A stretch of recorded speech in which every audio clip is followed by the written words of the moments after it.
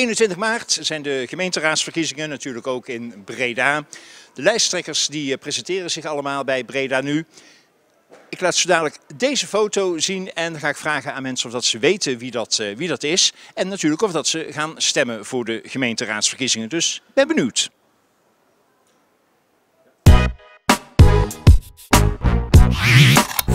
Als ik u nou deze foto laat zien, weet u dan wie dat is? Wel een bekend gezicht, maar ik weet niet wie het is. Nee, dat, dat weet ik niet. Nee. Nou, dat is Yvonne de Heer van, van Trots Breda, een van de, van de partijen die meedoen aan de gemeenteraadsverkiezingen. Ben, bent u van plan om te gaan stemmen? Ja, ik wil wel gaan stemmen, ja. ja.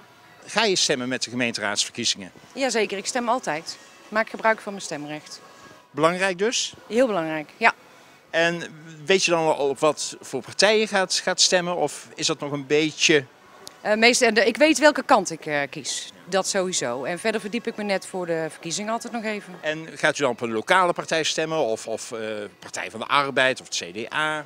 Daar ben ik nog niet helemaal aan uit. Daar moet ik er even goed over nadenken. Dat is ook wel een moeilijke keuze natuurlijk, hè? Moeilijke keuze, ja.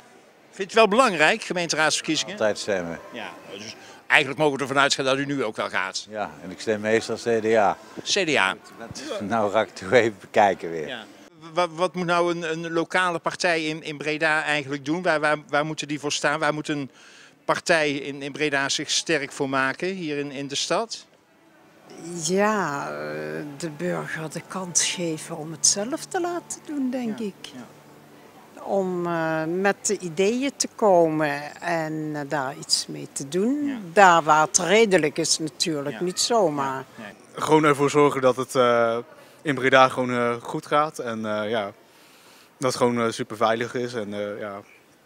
ja, dat ze gewoon een beetje kijken ook naar de ouderen en mensen die in verpleeghuizen moeten komen wat, waar geen plaats is en zo. Dat, dat is wat aangedaan wordt. Waar moet een partij een politieke partij in Breda aan, aan voldoen om, om jouw stem te krijgen? Nou, in ieder geval sociaal zijn. Dat vind ik heel belangrijk. We zijn uh, met elkaar, voor elkaar en zeker in Breda. Ik ben Yvonne de Heer, Zeveke. En ik ben fractievoorzitter van Trots, ouderen politiek actief. En ik ben de enige vrouwelijke. Uh, ik sta hier voor mijn werktafel.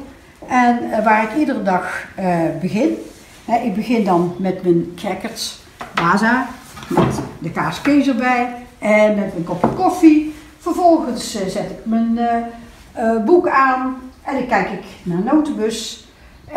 ik kijk ook in mijn telefoon alles wat daar binnenkomt. Facebook, je internet, ga ik ook eventjes doorheen. Dan pak ik de krant en dan lees ik met name stad en regio heel erg goed door. Vandaag staat er dan toevallig in, toekomst Breda nu lijkt verzekerd met subsidie. Nou, voor al die vrijwilligers, chapeau. Ik ben er van het begin af aan bij geweest, dus ik weet hoe het allemaal is geweest. Dan heb ik altijd op mijn eh, werktafel een aantal tijdschriften liggen die ik eigenlijk allemaal wel graag wil lezen. Ik heb er niet altijd de tijd voor en ik kijk dan ook per keer wat is nu van belang, wat ga ik deze dag doen, want ik moet wel een keuze maken. Waar haal ik mijn keuzes uit? En mijn werk ligt hoofdzakelijk in de avonturen. Eh, dat is uit de bode, uit stad, nou ja goed, eh, natuurlijk uit, ook uit mijn uh, laptop. Weet ik wat ik eh, die dag dan ga doen? Ik heb dat ook allemaal in mijn agenda staan. Dan ehm, sluit ik alles even hier dicht. Eh, om vervolgens de hond uit te gaan laten, mijn kleinzoon van school te halen. En dan ben ik klaar voor de avond eh, om verder te gaan met eh, mijn raadswerk. Ik, ik doe ook, we hebben ook onze fractieavonden. En we hebben natuurlijk ook onze, onze raad die ik dan ook weer kan voorbereiden. Ik heb jullie een kleine ingeving gegeven hoe mijn dag, hoe ongeveer ik bezig ben.